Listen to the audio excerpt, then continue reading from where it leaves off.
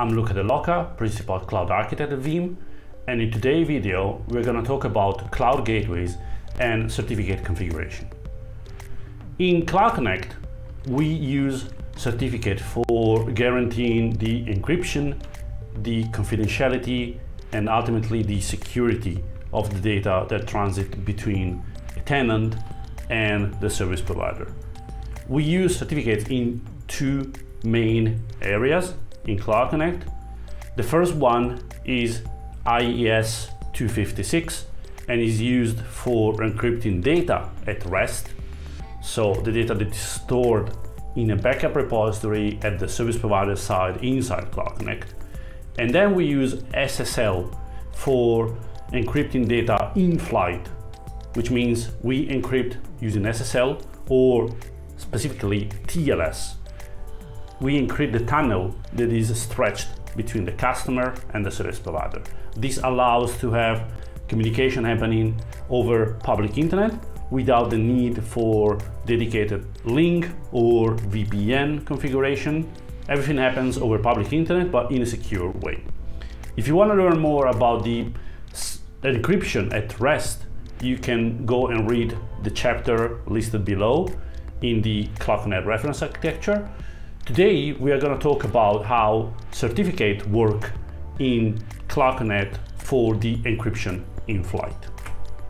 We can watch a schema here where we have a tenant backup server connected to the service provider backup server running Cloud Connect. And in between, there is the cloud gateway component, which is the one responsible for creating the configuration of the tunnel.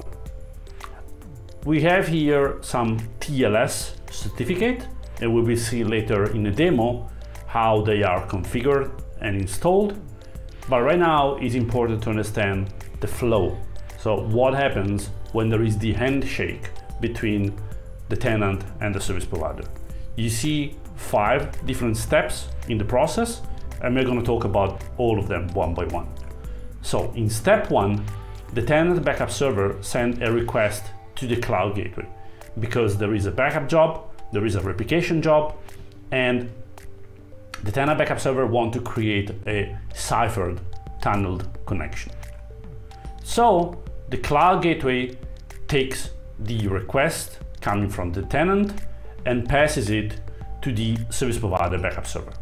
There is, first of all, an authentication process where username and password are checked. And once this is verified, the service provider backup server in step three exposes a TLS certificate, which is installed into its store and it passes it to the backup server through the cloud gateway. Technically, what's passed is the public key of the certificate because the private key is stored and never moved from the backup server. Step four, the tenant receives the public key of the certificate and it goes and check the validity of the certificate. If it's a public certificate, the public certification authority is contacted and the certificate is verified. If the verification is completed successfully, step five, the service provider backup server establish a secure communication channel, not just between the cloud gateway and the tenant, but also between the different component of the Cloud Connect. So the Cloud Gateway, the Cloud Repository, if it's a backup operation, or the Cloud Host, if it's a replication operation. So in this way, the entire uh, tunnel process is totally protected from the tenant to the gateway to the final destination, being the repository or a host. The tenant is gonna then use the public key of the TLS certificate to cipher the entire connection and the cloud gateway using the private key of the backup server will be able to decrypt the data inside the tunnel and so be able to read the data. In order to do so, the first step is to configure the cloud gateway, uh, role into Cloud Connect and install the certificate. So let's move to the demo. Okay, we are now into our lab environment. We have installed and configured Veeam Backup Server and installed a license for enabling Cloud Connect. The first operation we need to do in Cloud Connect is to manage the certificate. There is a dedicated command here, you can see in the Cloud Connect main screen. And so we hit this one.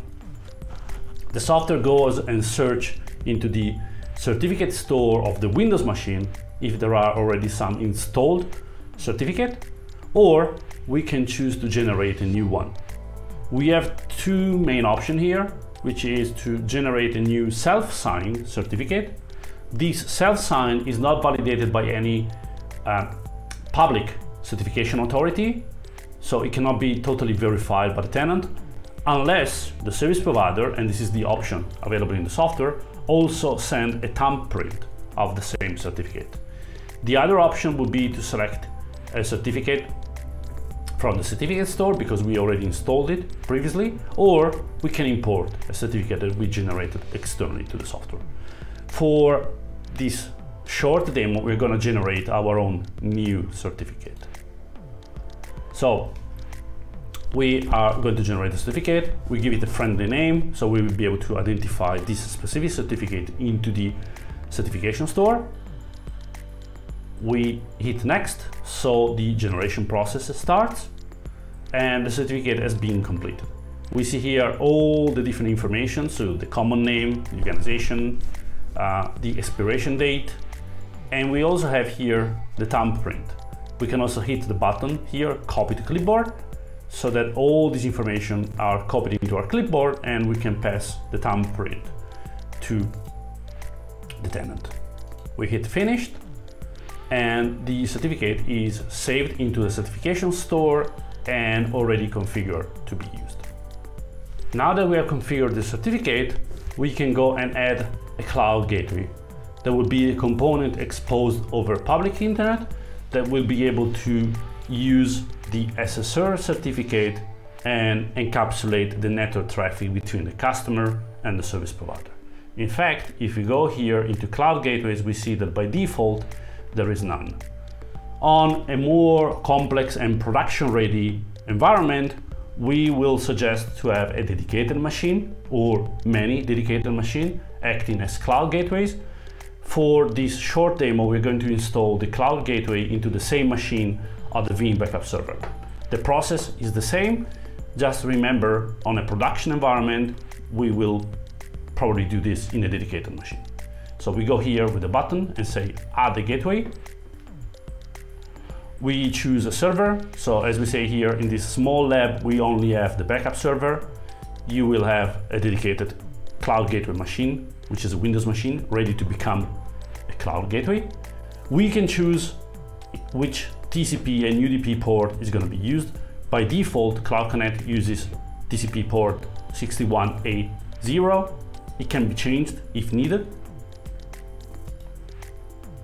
Then we choose which configuration in the networking we're going to use. If the server is connected directly to public internet and so it has a public IP address like this machine here you see it's a public IP, this is not a public IP, it could be exposed directly over internet. If it's behind the firewall using some sort of network address translation or some other firewall solution, we would configure this option. So the, soft, the gateway is located behind NAT. And in this case, we will say, okay, the DNS name that can reach the public IP of the firewall is going to be like cloudconnect.provider.com or something like that. Remember, this DNS name is going to be also the name that is validated into the TLS certificate. The two has to be the same in order to the certificate to work. Unless we decided we're going to use a self-signed certificate, and so we don't really care about the correspondence between the two values. We move on. The software check if there is any component already installed into the machine and there is not. So it says that it's going to be installed.